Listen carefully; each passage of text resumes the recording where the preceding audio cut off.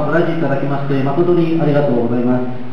Eh, Rai Colombia, Nihon Kuzakistán, Buenas noches, damas y caballeros.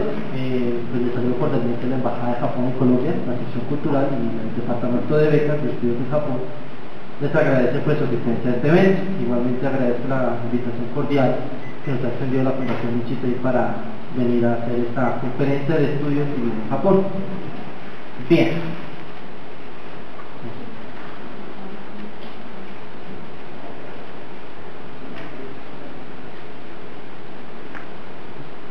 Bien, entonces aquí tenemos pues, las cosas español, eh, estudiantes extranjeros en Japón pues hay una gran cantidad de estudiantes privados, hay estudiantes patrocinados por muchas entidades. En esta oportunidad vamos a explicar eh, las becas otorgadas por el gobierno de Japón, por el Ministerio, por la Fundación Japón y por la JICA, que es la eh, Agencia Internacional de Cooperación de Japón.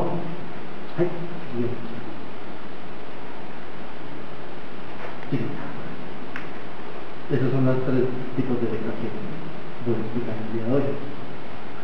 Hay una cifra que espero que se acuerde. Bueno, más de 150.000, 128.000 estudiantes extranjeros de todo el mundo en Japón.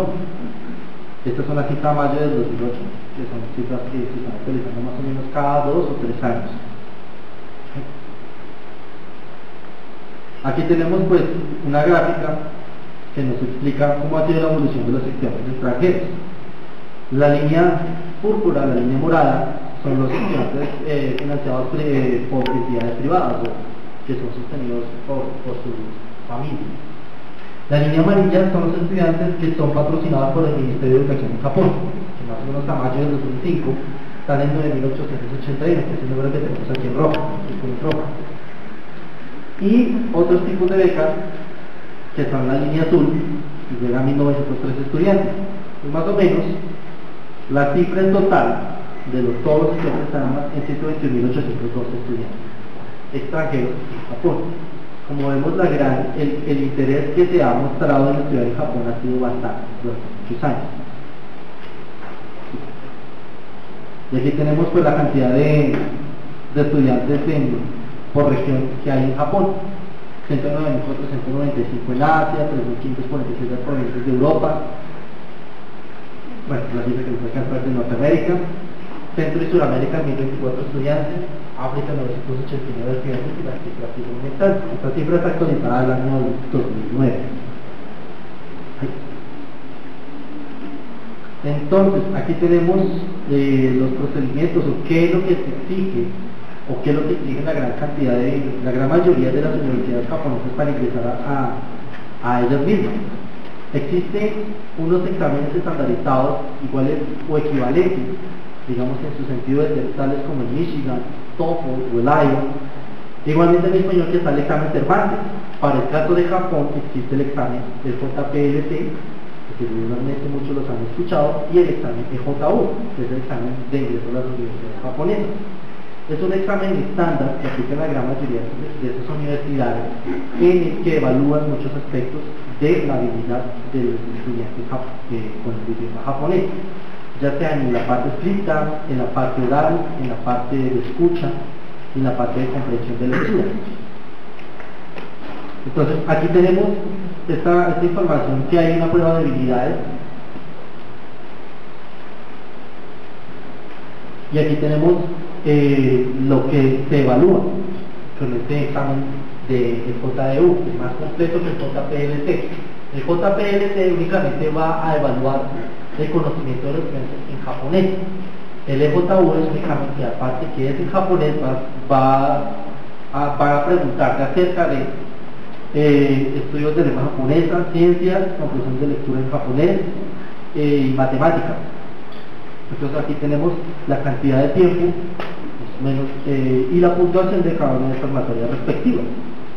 Es un examen bastante, bastante complejo, porque es, un examen, digamos, es como un equivalente a un poco más, más difícil este examen, por lo que se requiere que el estudiante certifique que su nivel de, japonés y el conocimiento de las diferentes áreas, en las ciencias básicas, sea lo suficientemente bueno para ingresar a una universidad japonesa. El costo de vida y estudios en Japón. Bueno, más o menos está un, yen, eh, un dólar equivale más o menos a 100 yen. Redondeando la cifra y más o menos a 2.400 pesos o equivalente casi a 20, está entre 19 y 24 pesos lo que equivale un yen. Los costos de estudio.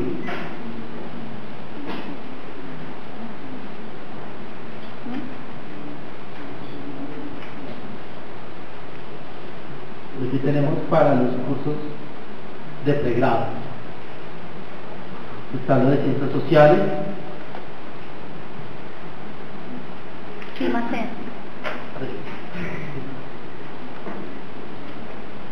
Bien.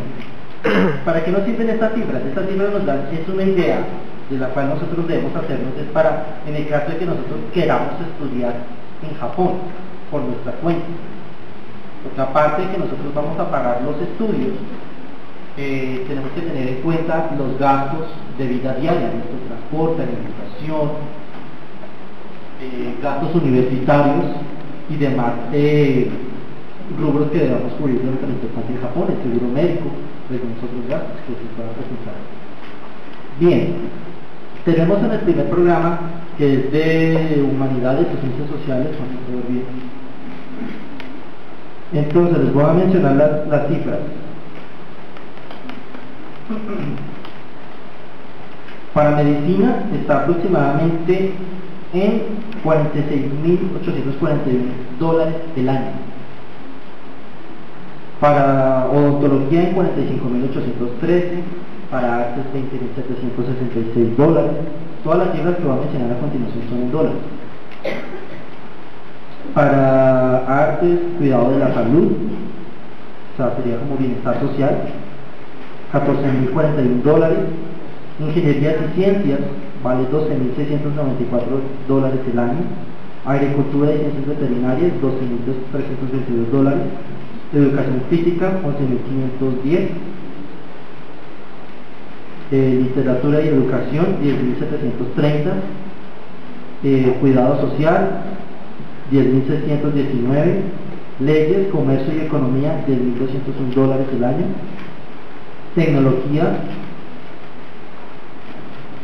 10.640 yenes. Y cursos de preparatoria para japonés 6.454 dólares el año. Pues tenemos esa cifra y las pasé a pesos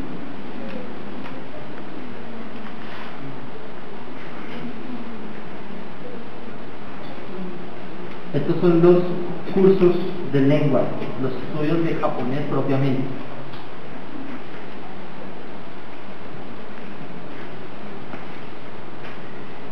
Está, hay varias modalidades de, estudios en Japón, cursos de un año, año y medio, dos años, otros dos años y medio. De cada institución en Japón tiene una especialización, hay unas que son simplemente cursos de preparatoria en japonés, otras que son cursos de preparatoria para estudios universitarios y otros para estudios preuniversitarios.